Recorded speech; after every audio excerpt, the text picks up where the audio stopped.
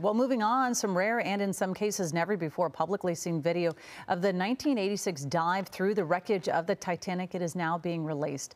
There are more than 80 minutes of video of that expedition that marked the first time human eyes had seen the ship since it hit an iceberg and sank in the North Atlantic in 1912.